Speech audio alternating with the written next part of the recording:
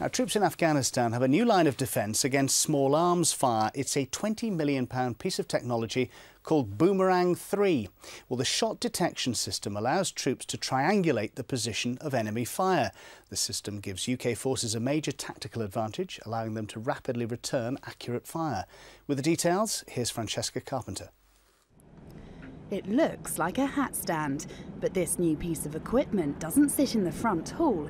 It's protecting the lives of British troops on the front line.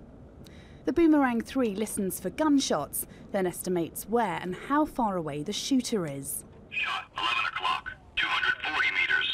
This shot detection system alerts troops immediately to the source of incoming fire so they can fight back quickly or move to safety. We've had it here for about two weeks and already we've used it on a number of occasions where checkpoints have been engaged and uh, it's helped us identify exactly where that firing point was. Two days ago we had firing from uh, one of the checkpoints and uh, it gave us a rough direction of where that fire came from and we were able to neutralise the enemy.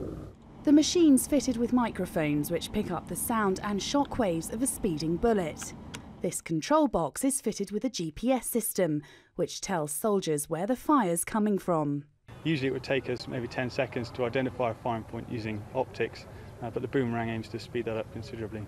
Easy to set up and easy to understand, it's already proving a hit with troops.